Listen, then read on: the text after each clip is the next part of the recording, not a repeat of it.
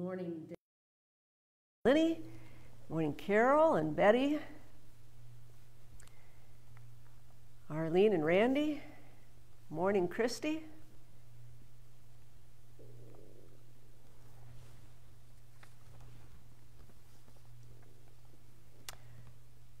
Good to have Rob and Elsa watching from Green Bay. Our prayers go out to Rob and Elsa as Elsa's mother is in hospice right now.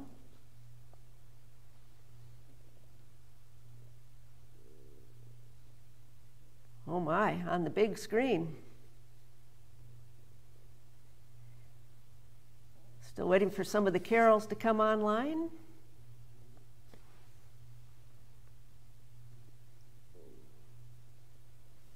Morning to the Gildermans. Oh, here come the carols.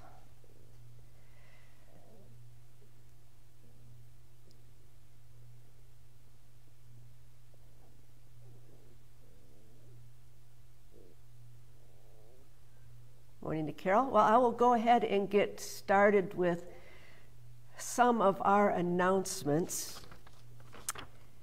Council met this week, and the most important thing you need to know of our council meeting is that Christmas Eve services, what we've decided to do, and uh, much based on the weather, is that Christmas Eve will be Facebook Live at 9:09 p.m.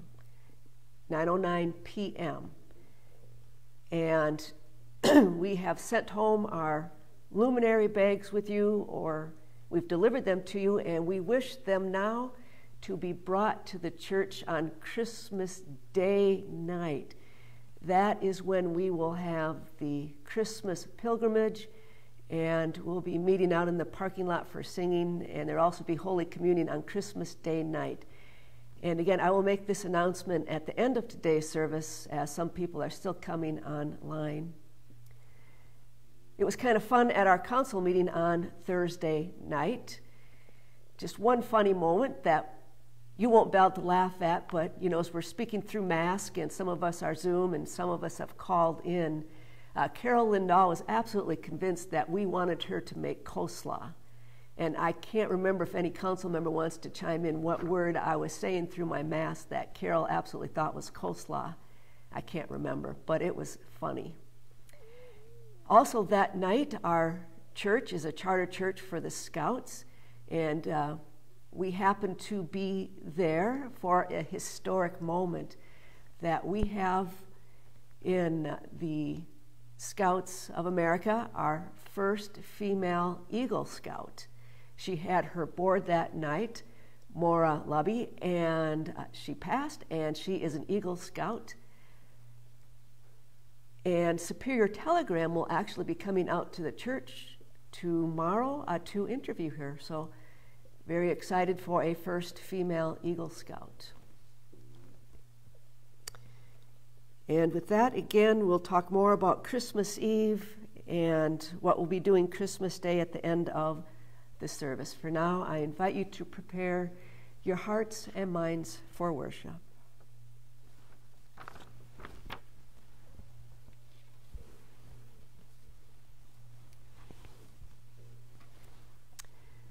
Luminaries line the aisle as a reminder that this is the season when we proclaim that the light enters dimly lit places of our lives and our hearts and illumines us with a liberating and comforting message. This morning, we continue with the theme anthem for this Advent that we've been following these four weeks. It follows the poem of an anonymous Jewish person during the Holocaust. And these words were found scrawled in a cellar where they had been hiding. And this poem reminds us of the resilience of hope. Ah, I believe in the sun even when it's not shining. I believe in love even when I don't feel it. I believe in God even when God is silent. And now, not a part of the original poem, but we added this line to the poem this week. I believe in the light, the light that has come and is coming. May we never forget what can happen when evil is allowed to go unchecked. May we always use our art, our music, and our poetry, and most importantly, our simple acts of kindness as inspiration to create goodness, not evil, in this world.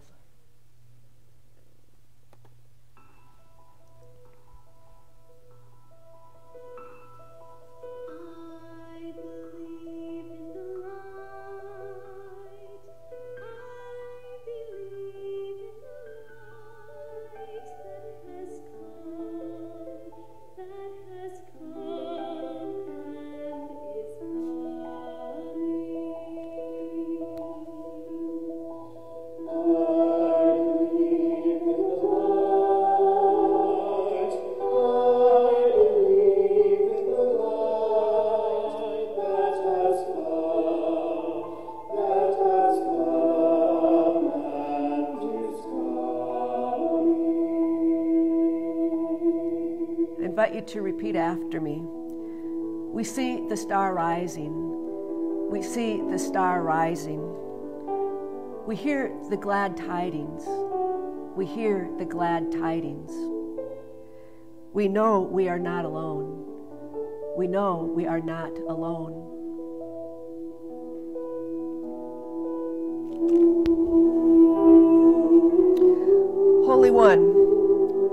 Thank you for the glimpses we catch of your gift of peace on earth, even in the midst of fear, of challenge, of struggle, even when we aren't sure that goodwill among us can be found.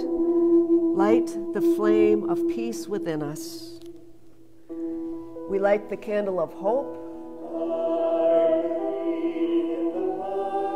the candle of love.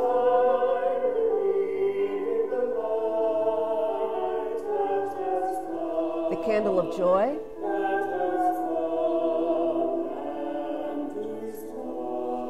And our candle of peace.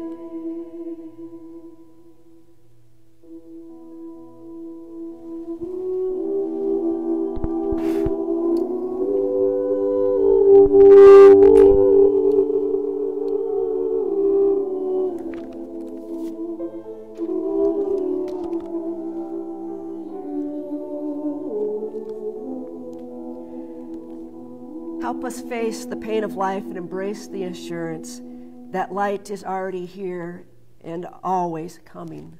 Amen. We gather in the name of God, the creator of light, of Jesus, the light of the world, and the Holy Spirit who illumines our path. You are invited in your own homes now to light your Advent 4 candle of peace. Let us pray. O God, the protector of all who trust in you, without you nothing is strong, nothing is holy. Embrace us with your mercy, that with you is our ruler and guide. We may live through what is temporary without losing what is eternal, through Jesus Christ, our Savior and Lord. Amen. Amen. For our readings today, we'll be doing a reading from Isaiah 9 and John chapter 1. And these two readings make use much of the metaphors of light and darkness. And in a racist society, there can be a sense that light is good and dark is bad. As we continue now with the rest of this service, and especially in my sermon, where I can avoid using the words dark or darkness, I will. And these events surely have come to us this summer and what we need to be aware of between light and darkness. A reading from Isaiah chapter 9. The people walked in darkness have seen a great light. On those living in a pitch dark land, the light has dawned. You have made the nation great, you have increased its joy. They rejoice before you as with joy at the harvest, as those who divide plunder rejoice. As on the day of Midian, you've shattered the yoke that burdened them, the staff on their shoulders, and the rod of their oppressor. Because every boot of the thundering warriors and every garment rolled in blood will be burned fuel for the fire. A child is born to us, a son is given to us, and authority will be on his shoulders. He will be named Wonderful Counselor, Mighty God, Eternal Father, Prince of Peace. There will be vast authority and endless peace for David's throne and for his kingdom, establishing and sustaining it with justice and righteousness now and forever. Word of the Lord.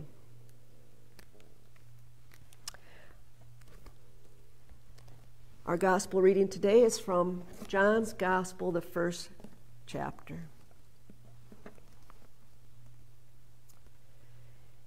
In the beginning was the Word, and the Word was with God and the Word was God. He was in the beginning with God.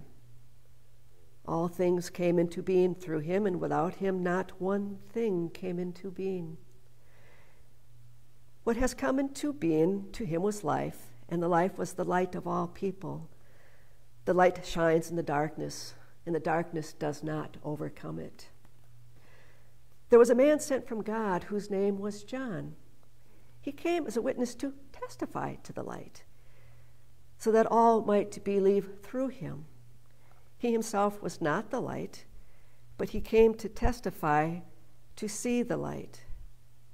The true light, which enlightens everyone, was coming into the world.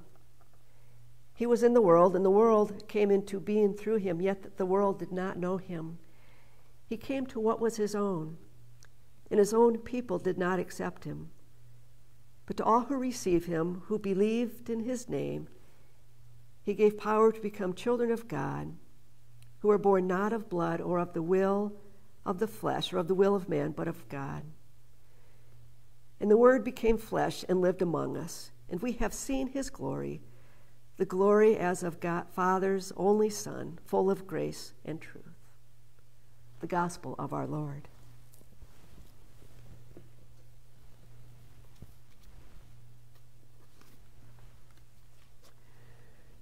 Grace and peace to you from God our Creator and from Jesus Christ, who is the light, and the Holy Spirit, the bringer of light. Amen.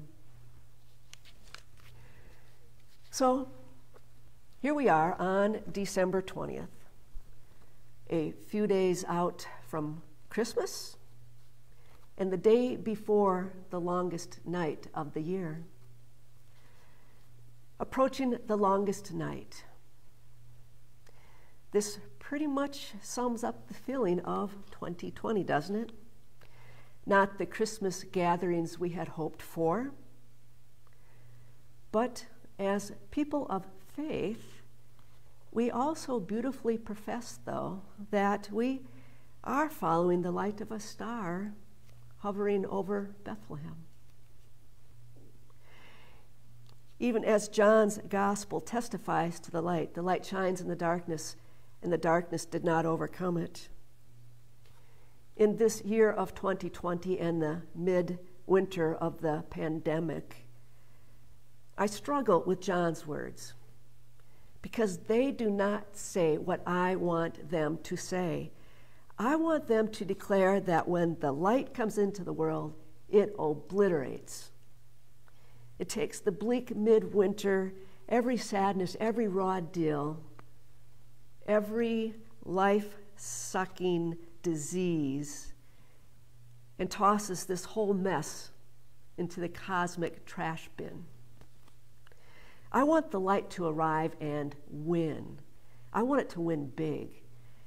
And I mean, I want the light to be so overwhelming that I can switch channels at halftime and that place without light isn't even going to peek out of that locker room door.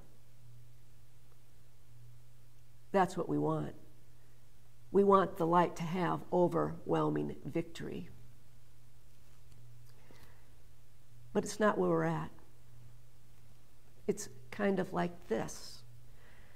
For those of us who live in the northern latitudes, and especially those who live above the Arctic Circle, there is a Norwegian word that describes this feeling. Mørketiden. I invite you to repeat that after me. Mørketiden. Mørketiden.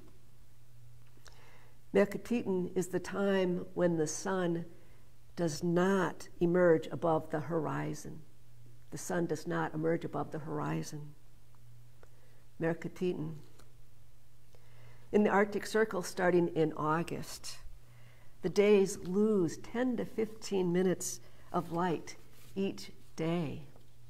From then on, it's a relentless march towards the longest night. And that's how that pandemic has, helped, has felt for those of us in the upper Midwest. As early October went on, the relentless march of more and more positive COVID 19. We have experienced this lack of light coming. Mek aditen. The light shines in the place without light. But nevertheless, the light, place, and presence does exist. The light coming to be with us. In the beginning was the Word, and the Word was with God. Jesus described as light, light, the first act of creation. And this light becomes flesh and makes a home among us.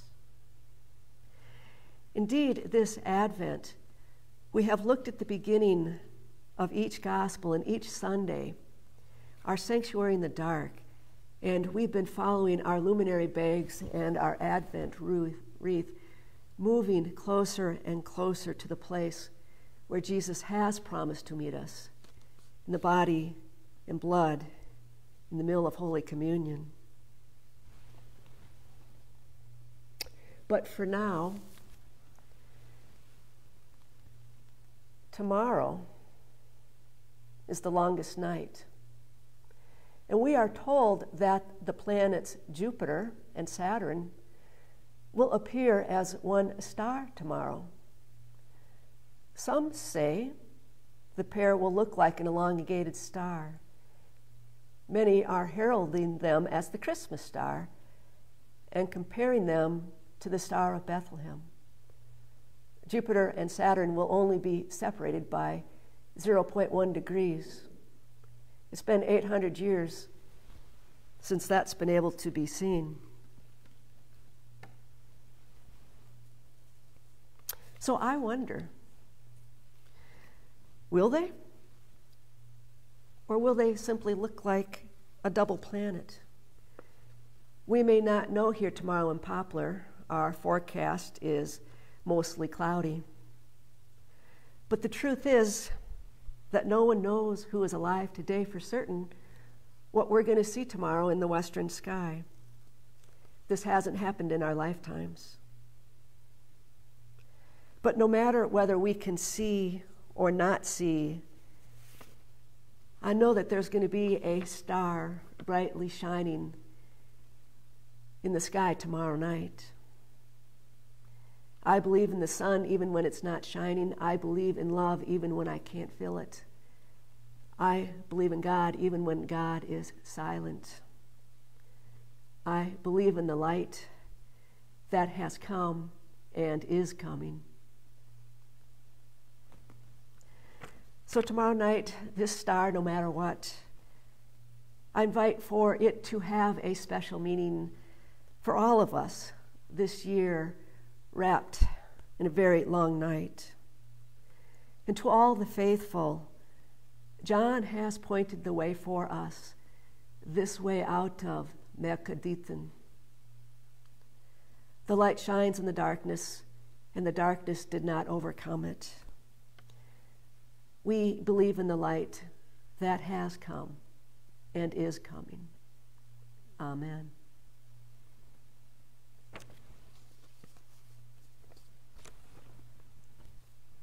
Amen. Our congregation has a ritual that we have done since the very first Sunday back in March, and we all share a piece of bread together. We call it our bread liturgy ritual. Normally, we do the prayers of the people first, and then we have the bread liturgy. But for today, it makes sense for the music we are using to do our bread ritual liturgy first. So I invite you to grab a piece of bread. And it's, it's a ritual we do because we, uh, we do not gather, and we believe that communion is a way that we share together as a body of Christ. But like the exiles, somehow they kept their faith alive while in Babylon. And this is the way we are keeping our memory of communion alive until such time it is safe to do so.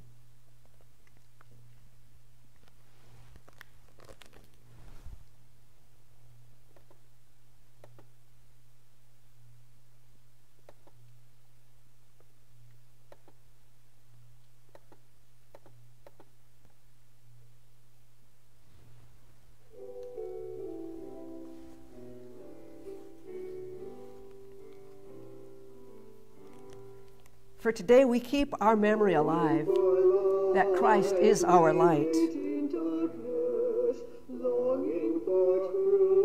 At the beginning of creation, God said, Let there be light. And there was light.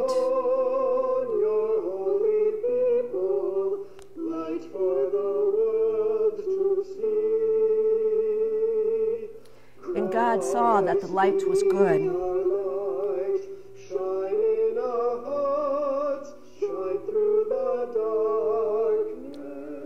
God separated the light from darkness.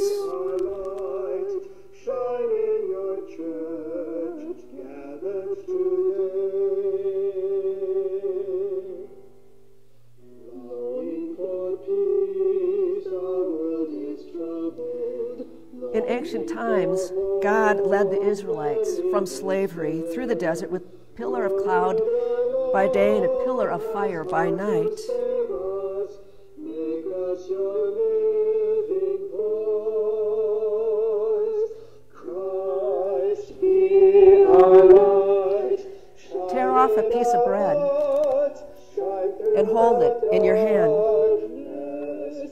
This is bread for the journey until we gather again, far longer than we thought it would be.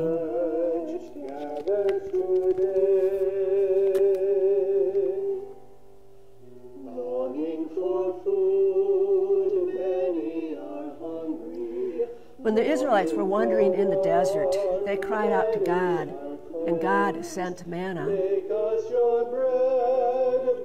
I invite you to eat your bread.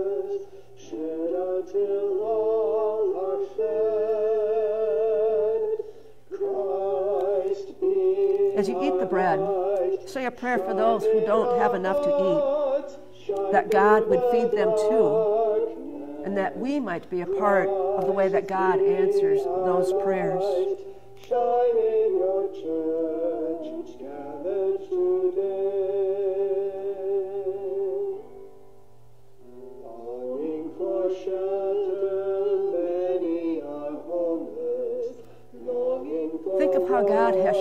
in your life and in the lives of others. Take a moment to thank God for nourishing and sustaining you and sheltering you.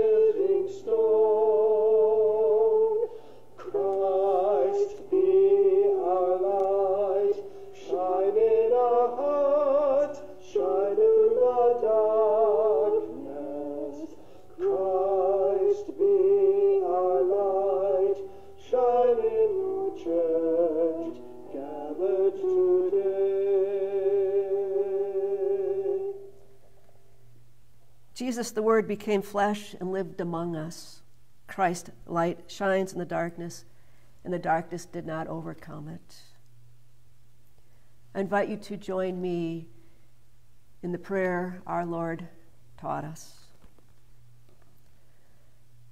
Our Father, who art in heaven, hallowed be thy name.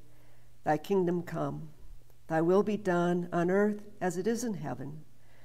Give us this day our daily bread, and forgive us our trespasses, as we forgive those who trespass against us. and lead us not into temptation, but deliver us from evil. For thine is the kingdom, and the power, and the glory, forever and ever. Amen.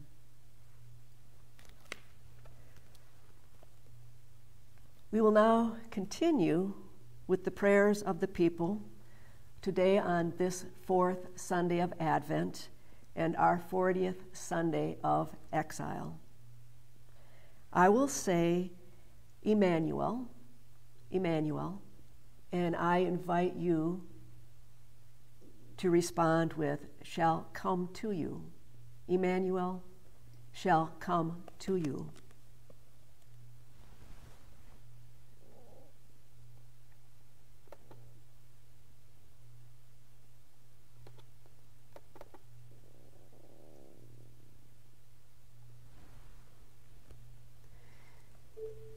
Jesus, you are our day spring, our dawn, our sunrise. Jesus, you send away the clouds of the night.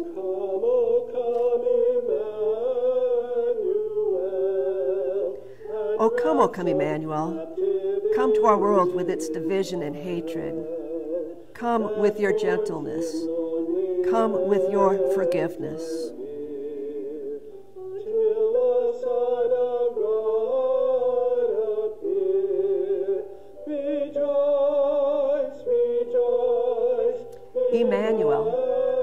Shall come to you.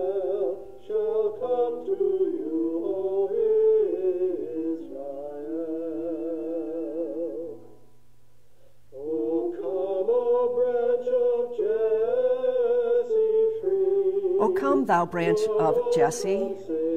Come to the lost and the least and the lonely in our land, and let them know that they are valued and loved by you comfort those in nursing homes.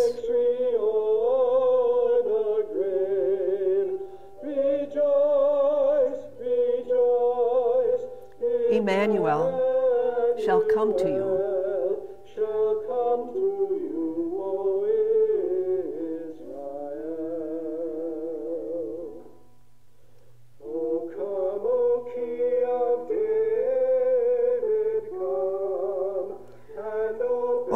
Thou King of David.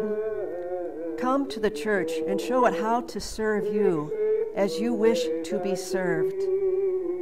Come and make your gospel a living reality here in our time and place.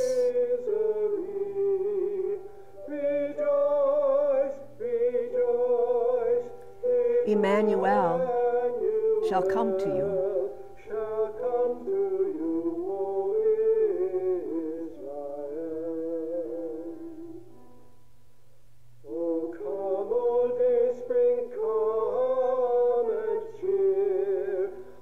Come, thou day spring.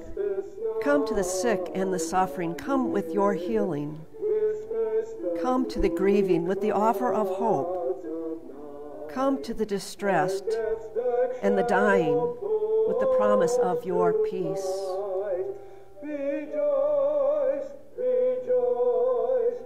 Emmanuel shall come to you.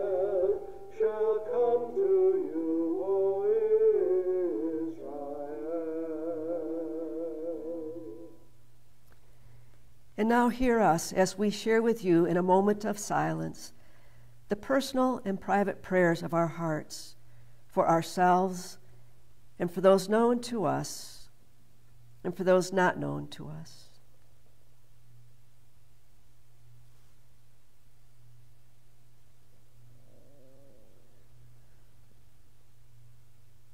O Lord Jesus, God with us.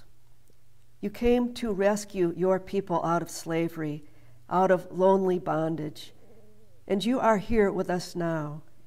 You have appeared. Allow us to see your light today. Amen. I invite you to share Be Well in Christ with one another. Be well in Christ.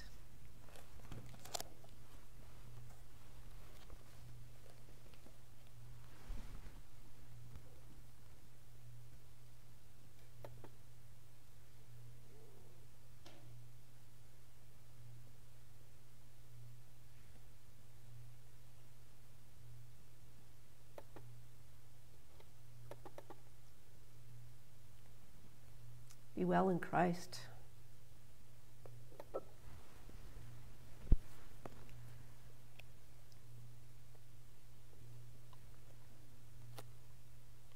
Be well in Christ. We'll continue now with the benediction. You are invited to pick up this week's candle and prepare it to take and reside in the wreath, and to hold it high for the benediction.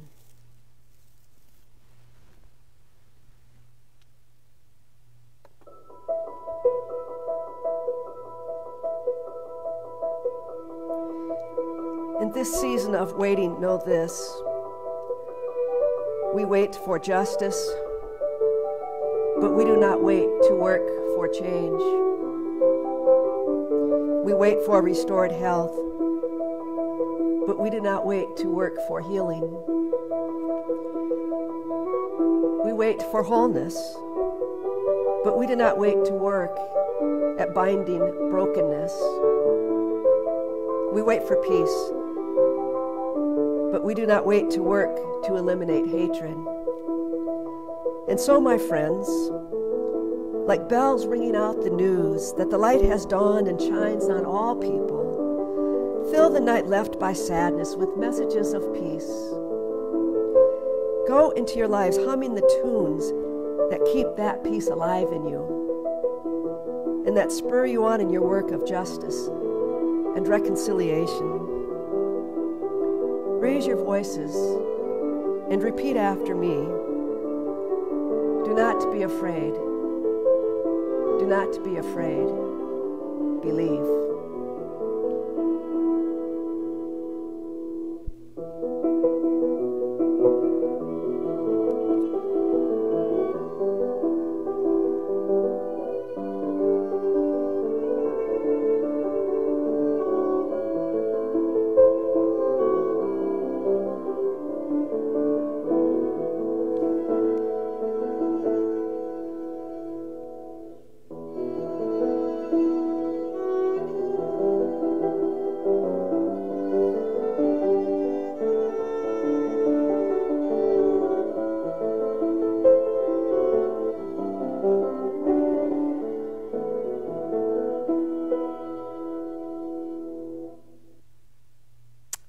Amen. Before we do our carol of resistance, I would like to finish first, though, with announcements, just to get the word out. Since council, we met on Thursday to decide what we were going to do with Christmas Eve. So, those of you who are tuning in um, later in this broadcast, this is what's going to be. Christmas Eve is going to be a Facebook Live service at 9:09 p.m. There'll be nothing in the church before them. So 9:09 Facebook Live Christmas Eve. On Christmas Day, what the council was thinking is that Christmas Eve, it's going to be bitter, bitter cold, probably below zero temperatures, not a good day to be outside here in the evening. So stay home, enjoy your families. But tune in 9 again, 9:09 p.m. Christmas Eve. Bring your luminary bags in memory of loved ones and your other luminary bags to the church on Christmas Day night. It's a Friday. Most people have Christmas Day off. The church will be open from 4:30 to 5:30 for the Christmas Eve pilgrimage and the walkthrough. And there will be Holy Communion offered during the walkthrough of the church. And we'll keep the numbers down in the church as you walk through this special Christmas Eve pilgrimage we have set up for you. At 5:30, we will gather outside at the bell tower in front of our the luminary bags of our loved ones, and there we'll have a short service and sing Silent Night. We'll open up the church again from 6 till 7 for the next group if they wish to come later and have that same walk through, 6 to 7. And then once again, we will gather at 7 o'clock outside. I do invite you to dress very warm. You won't need to take your coat off. The walk through through the church should not probably take more than, I would guess, 10 to 15 minutes. So dress very warm so that you can be outside. We will be sending out an email on this and contacting those who don't have internet. But for family and friends, uh, please help us get the word out. And for now, our sending song and our carol of resistance. Our carol of resistance today is Go Tell It on the Mountain. This is probably the best known African American Christmas song, and the words seeker and watchman are thought by some to have been code words on the Underground Railroad. It was made popular by the Fisk Jubilee Singers in the 19th century as these college students, themselves freed slaves, traveled the country to raise money and awareness. They were turned away from hotels and even some churches because of their color. Go tell it on the mountain, over the hills and everywhere. Go tell it on the mountain that Jesus Christ is born.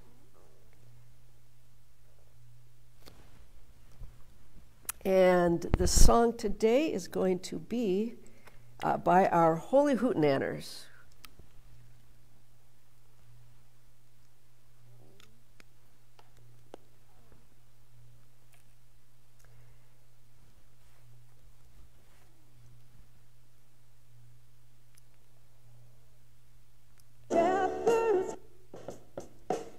Go tell it on the mountain.